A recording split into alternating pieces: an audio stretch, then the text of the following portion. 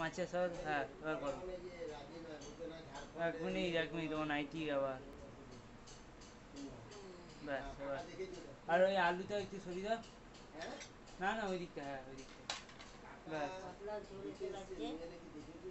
পাতা কাঁচকলা পেঁপে আলু আদা বাটা, নুন, কাঁচা লঙ্কা বাটা